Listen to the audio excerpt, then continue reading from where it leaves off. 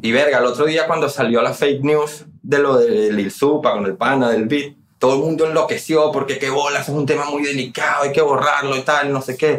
Claramente quedó en evidencia que no estamos preparados todavía para tener a la prensa rosa pendiente del rap venezolano.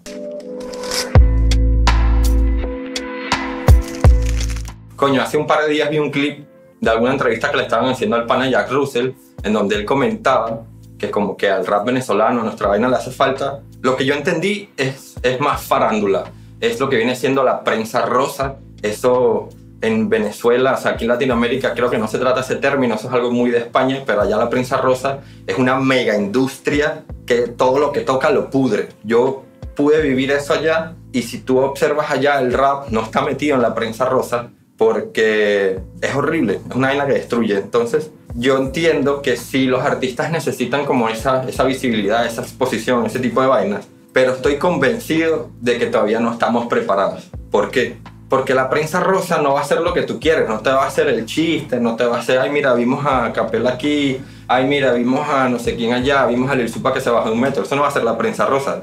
La prensa rosa es un monstruo que se alimenta de la mierda y de los likes. Ahora, antiguamente era el rating en la televisión.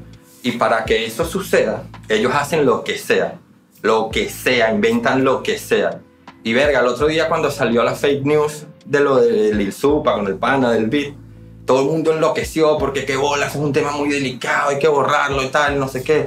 Todo el mundo, todos los, estos son unos reporteros de mierda, porque toda la gente, mucha gente se, cayó por ahí para abajo con eso. Pero eso es lo que hace la prensa rosa, eso, de eso se trata. Ellos quieren likes y, y polémica y así es que lo consiguen. Entonces, claramente quedó en evidencia que no estamos preparados todavía para tener a la prensa rosa pendiente del rap venezolano. Esto es solo mi opinión porque he podido observar cómo han reaccionado a ciertas cosas que han pasado en el rap venezolano y porque tengo, cuando yo empecé mi carrera y todo eso lo empecé en España, fueron ocho años allá y, tengo un máster de la prensa rosa y créanme, eso no es algo que necesitamos ahora mismo.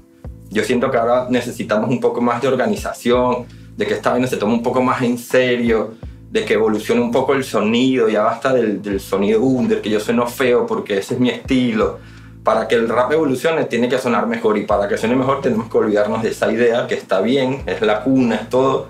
Pero amigos, eso fue hace 50 años, hay que evolucionar y el sonido es una cosa que ha evolucionado. Entonces, para que el rap evolucione, yo siento que una de las cosas que tenemos que hacer es tomar un poco más en serio eso del sonido para que suene un poco mejor y, y ponernos serios con el tema de los, de, los, de los conciertos, de los toques, que traten bien a los artistas, de que no nos traten como perros, etcétera, etcétera. Y pienso que por ahí es un paso un poco más cercano a donde estamos ahora y que puede ayudarnos a dar ese saltico que necesitamos para, para subir de peldaño. Y bueno, ya sí, después viene la prensa rosa que tarde o temprano termina llegando, llegará, pero creo que vamos a estar un poco mejor preparados.